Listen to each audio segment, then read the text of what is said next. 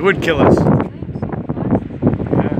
So here we are, just outside the farm. Watching this papyrus burn on the lake here. Zoom in on that. You hear it. It sounds like a million firecrackers all going off at the same time. And it's sending up this massive plume of smoke, blocking out the sun. And that's our channel. Look, the channel is full of smoke now, babe. Look. Our channel, so where we were to get back to the farm is completely covered in smoke now. And uh, yeah, we're just gonna have to wait this out.